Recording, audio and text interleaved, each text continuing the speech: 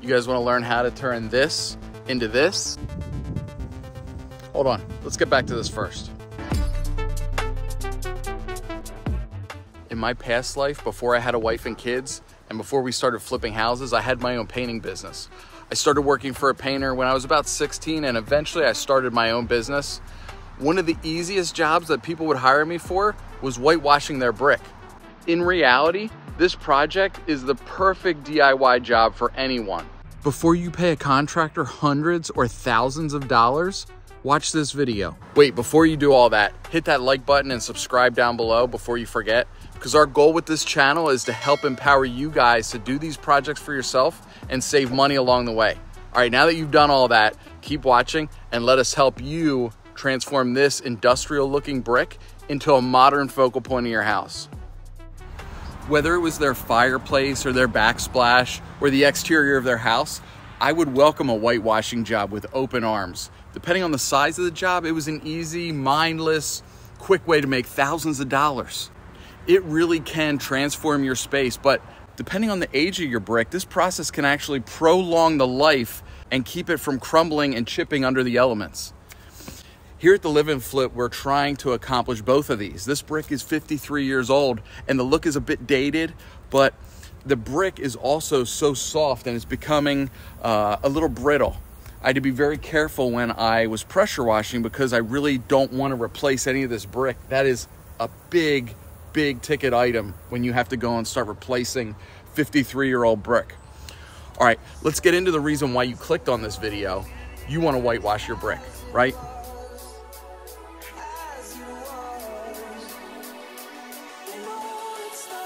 say.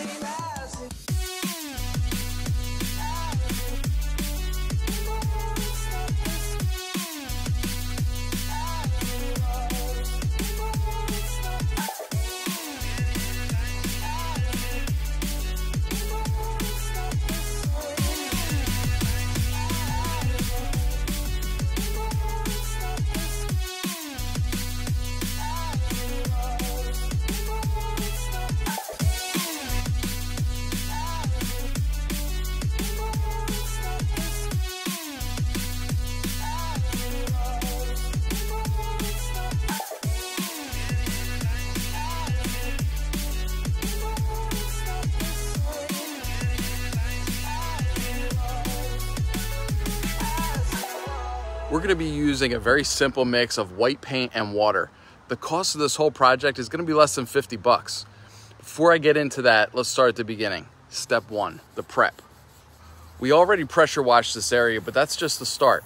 This can be a very messy project, so if you want the cleanup to be easy, cover everything. It'll get all over your hands. It'll get all over your face. Lauren told me I just got some on my face.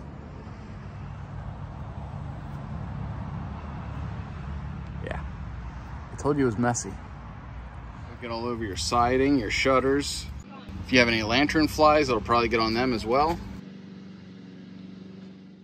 Because we'll be watering down the paint, the consistency is gonna be more like water than paint. This is going to help the whitewash soak into the brick and give that desired look that you guys are wanting.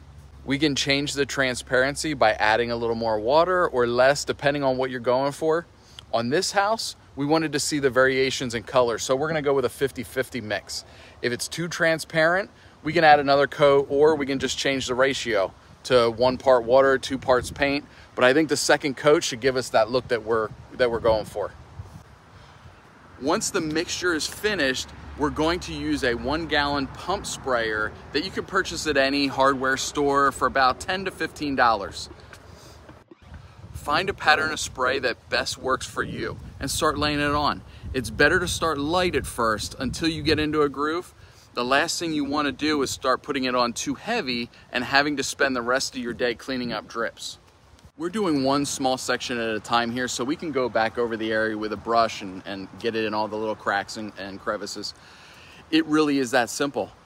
All we used was a gallon of Behr stain blocking paint. I recommend you go with a flat enamel because if you use a satin or a semi-gloss, you're most likely gonna get clogs in your sprayer. I would also recommend using an old paintbrush or buying one from the dollar store. There's no need to go buy a new expensive brush. the roughness of the brick is gonna do a number on it. So you're most likely gonna throw it out when you're done. It doesn't matter if you're 70 years old or you're trying to find a weekend project to do with your kid. There is little to no skill involved with this. Whitewashing your brick is easy. If you don't like the look of your old brick, the risk reward here is a no brainer. So what do I love about whitewash? Money and time, the two big factors. It's super cheap. You can use the existing paint in your garage or if you wanna spend a, a couple bucks, you can just go to the store and buy a fresh one and a pump sprayer. That's all you need. This is a project that can be done in an afternoon. Depending on how big your space is, this whole area only took us two hours. Would have taken us less time, but we had a little bit of a clog in the sprayer, so that's something to think about too. In my opinion, the only downfalls to whitewashing, when you mix the paint and water, like I said, the clogs, sometimes the paint has a tendency to sink to the bottom. So you have to keep constantly mixing it or shaking the, the pump spray around a little bit. It can be difficult to get that right coverage. You might have to apply a second coat or several coats or just change the consistency. So play around with it a little bit. It's permanent, so once you start, there's no turning back. If you want something temporary, you might want to go with a lime wash, but that's going to cost you more money and maybe not near as durable. Have so many more projects going on here. I'd love to share them all with you guys. So if you're not a subscriber already, please hit that subscribe button below. I got a walkway here that I'm working on. I also got a, um, a giant concrete bag wall that I've been working on. I can't wait to show you guys that. I'll give you a little, a little uh, sample of what that's looking like. Thanks for watching guys and have a great day.